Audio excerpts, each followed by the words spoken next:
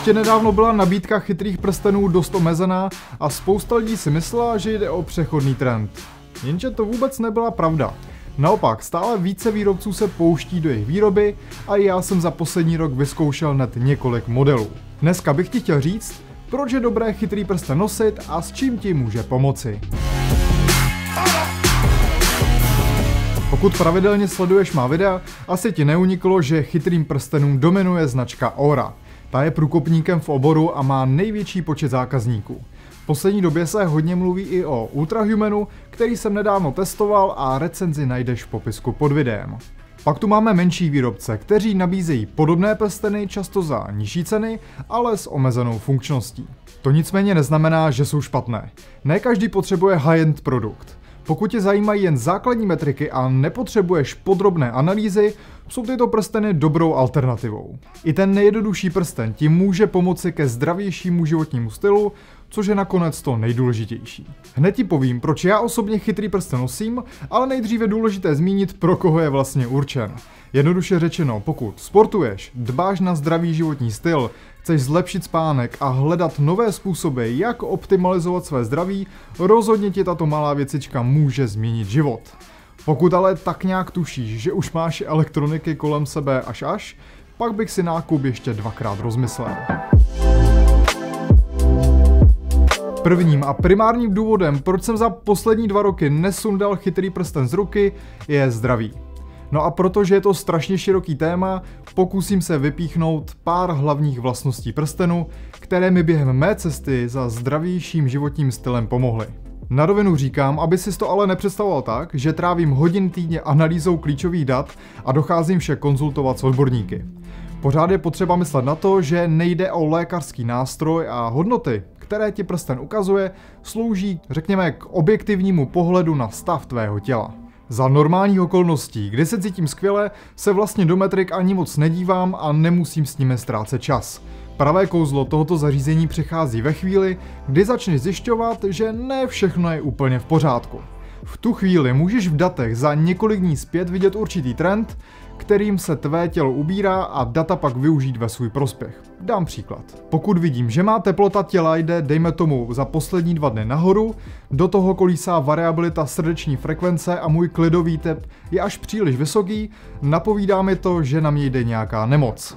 Ostatně třeba ORA přesně tyto metriky zohledňuje do skóre Readiness a v tu chvíli ti i aplikace napoví, co bys měl dělat. Když jsem před nějakou dobou dostal covid, prsten mi dokázal tímto způsobem varovat ještě dva dny předtím, než dorazily první větší příznaky. A to považuji za extrémně důležitý, protože jsem se mohl už v předstihu začít kurírovat, nasadit respirátor a přeskládat si kalendář tak, aby nemoc neovlivnila mou práci. Druhou klíčovou součástí prstenů by mělo být sledování spánku. V dnešní společnosti je tohle větší téma než kdykoliv předtím a upřímně se není čemu divit. Bez spánku bychom moc dlouho nepřežili a navíc souvisí úplně se vším, co děláme. Většina chytrých prstenů ti ukáže dosti podobnou metriku jako Ora, která bude vyjádřena v bodech od 0 do stovky, což ale samo o sobě není moc vypovídající a osobně si každé ráno prolistuju pár metrik sám. Primárně mě zajímá, kolik hodin jsem vlastně naspal. V mém případě ideálně těch 7 až 8 a pak se koukám na jednotlivé fáze spánku, respektive kolik se mi dostalo hlubokého spánku a REM spánku. A abych se přiznal, se spánkem jsem po koupi prstenu experimentoval asi úplně nejvíc.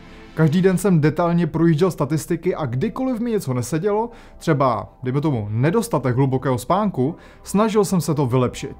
A přesně tady začíná alchymie, kterou za tebe technologie prostě nevyřeší, teda alespoň zatím.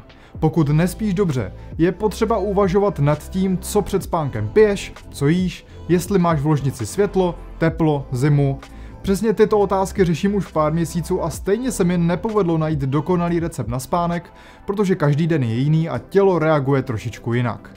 Co tě ale prsten naučí, je zasadit data do kontextu s tím, jak se cítíš a to je podle mě extrémně nedoceněná vlastnost, kterou se v recenzích častokrát vůbec nedozvíš. Dalším důvodem, proč nosím chytrý prsten a proč bys o něm měl uvažovat i ty, je celkové pohodlí při nošení. I když jsme si už nejspíš všichni zvykli na nošení chytrých hodinek, stále se mezi námi najdou takový, kterým nevyhovují nebo jednoduše smartwatch nepovažují za pravé hodinky. Zaza znova byl tohleto nějakou dobu i můj případ. Protože jsem roky nosil mechanické hodinky a představa, že je vyměním za digitálky, byla prostě nepřijatelná. Dnes už to samozřejmě vidím jinak, ale tehdy jsem stál před myšlenkou, že chci znát data o svém těle a přitom nemít na zápěstí další elektroniku. No a prsten v tu chvíli dával největší smysl. Je malý, nenápadný, stylový, hodí se pro každou událost a přesto ve spojení s dobrou aplikací ukáže všechno, co potřebuju. Tato vlastnost je obzvlášť klíčová ve chvíli, kdy chceš sledovat ten spánek. Já prostě nedokážu spát s hodinkami na ruce, kdežto s prstenem to není žádný problém a po pár dnech jsem ho na ruce vůbec necítil. Jako další benefit považuji fakt, že chytrý prsten nemá žádný displej a to znamená žádné otravné notifikace. V době, kdy každá blbina vyžaduje naši pozornost, je tohle vítaný bonus a já mám možnost se sám rozhodnout, zda chci dané věci věnovat svůj čas nebo nikoliv. Nic necinká, nevibruje, prostě neotravuje. Můj výběr nejpodstatnějších důvodů, proč nosím chytrý prsten, završím tím, že zmíním výdrž baterie.